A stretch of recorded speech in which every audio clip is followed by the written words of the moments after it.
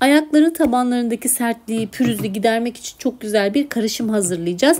Bunun için bir kabın içine bir çay kaşığı kadar bal ekliyoruz. Burada balımızın doğal olması önemli. Yine bir tatlı kaşığı kadar da zeytinyağı ekliyoruz. Yine doğal bir zeytinyağı olursa iyi olur ve bir yemek kaşığı kadar da limon suyu ekliyoruz.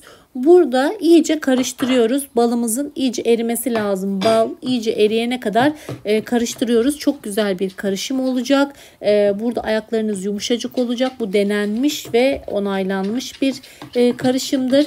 Çok kolay bir şekilde hazırlanır. Evinizdeki malzemelerle hazırlayabilirsiniz ve kullanıldığı andan itibaren de etkisini gösterir. Zaten bir 2-3 kullanımdan sonra da ayak tabanlarınız yumuşacık oluyor. Yumuşacık ayaklara sahip oluyorsunuz. Bunu mutlaka deneyin. Şimdi balımızı iyice erittik. İyice eridi balımız. Şimdi bir yemek kaşığı kadar da vazelin ekleyeceğiz bu karışımın içine. Vazelinimizi ekledikten sonra çok karıştırmamız gerekiyor. Bütün malzemelerin birbiriyle özleşmesi, karışması gerekiyor. Katı bir kıvam e, yine vazelin kıvamını alacak.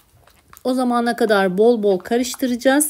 Ee, ve buzdan sonra artık karışımımız hazır olmuş oluyor. Bu karışımı buzdolabında bekletebilirsiniz. Hiçbir şekilde bozulmaz. Aynı vazelin gibidir.